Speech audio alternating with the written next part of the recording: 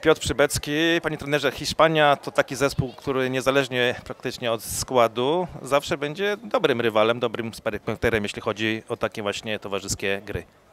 No oczywiście to było dzisiaj widać, oni naprawdę postawili nam e, interesujące warunki, nie było łatwo z nimi grać, mają bardzo fajną wysuniętą obronę 5-1. E, no bardzo doświadczonego trenera, który, który naprawdę z, na tych mistrzostwach Europy z Hiszp- Hiszpanami pokazał najwyższą klasę światową i oni zasłużenie wygrali mistrzostwa.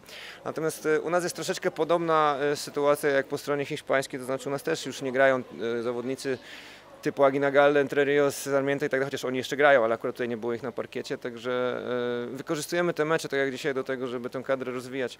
Jeżeli chodzi o sam mecz, e, błędy nas gubiły. E, Zbyt proste piłki oddaliśmy Hiszpanom, co spowodowało w drugiej połowie ich prowadzenie trzema bramkami. Dzisiaj u nas debiutowało trzech zawodników, tak? Hubert Kornecki, Paweł Krupa i Tomasz Wiśniewski. Jakie noty można im wystawić? Jeżeli chodzi o Pawła Krupa, on grał na, na pozycji wysuniętego przy obronie 5-1, no już tam kiedyś grał, zresztą ja go znam ze Szczecina, także tutaj sobie poradził i to y, momentami naprawdę dobrze wyglądało. Y, Jeżeli chodzi o Huberta Korneckiego, to tak jak już tutaj mówiłem, widać e, troszeczkę problemy po kontuzji, po tym, że on naprawdę na długi okres czasu wyleciał i nie ma rytmu gry.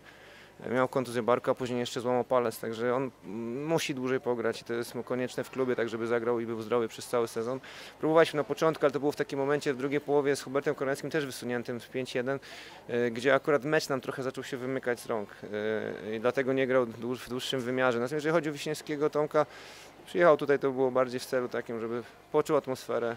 W pierwszej prezentacji chłopak młody, który był teraz na, na kadrze B. Morawskiemu bardzo było potrzebne w tym meczu zmiana i, i gdyby któryś z tych chłopaków, którzy akurat są kontuzjowani, Malcher czy, czy Wyszomicki byli akurat z nami dzisiaj w składzie, na pewno w tej drugiej połowie swoim doświadczeniem mogliby nam dużo pomóc. Kibice dzisiaj pokazali, że są spragnieni meczów reprezentacji Polski, że nigdy się nie odwrócą od zespołu, więc wręcz przeciwnie, zawsze będą dopingowali do samego końca. No strasznie się z tego cieszymy, szczególnie z tego co tutaj co się dzieje w Kaliszu, bo to jest naprawdę bardzo dobra atmosfera e, dla piłki ręcznej, nie tylko reprezentacyjnej, ale też klubowej.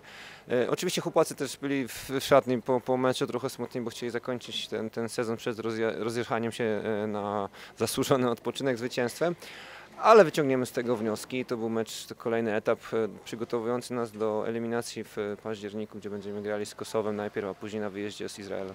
A proszę chociaż powiedzieć główne e, słowa, które po meczu już padły w szatni, jak, jakimi nastawieniem pan mówił do zawodników. Jak zawsze im podziękowałem, natomiast no było parę, parę punktów, o których musieliśmy wspomnieć i przede wszystkim to była e, konsekwencja w działaniu, dyscyplina w grze, bo w drugiej połowie myśmy popełnili błędy, których Hiszpanie nie popełnili i to jest różnica w tym momencie e, wynikowa. Plus gra w przewadze, 6 na 5, gdzie próbowaliśmy z dwoma obrotowymi i, i oddaliśmy też za dużo e, piłek Hiszpanom oraz można na przykład spojrzeć na to, jak, jak wyglądało rzucanie do pustej bramki, gdzie Hiszpanie trafili, a myśmy dwa razy, trzy razy nie zdobyli bramki. Także to są takie detale, które na tym poziomie summa summarum kosztują e, zwycięstwo albo porażkę. A jakiś optymizm z tego meczu, co to by by było?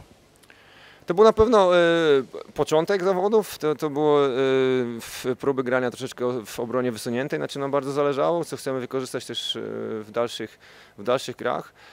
Na pewno zależało mi bardziej na tym, żeby jeszcze więcej w tych elementach, które już trenowaliśmy, było zgrania. To znaczy nie możemy wracać do punktów wyjścia, my musimy robić krok do przodu. Tutaj trochę tego zabrakło, szczególnie w drugiej połowie, gdzie przyszło zmęczenie i przyszedł trochę, przyszła trochę lekka presja, bo musieliśmy gonić wynik. Dziękuję bardzo.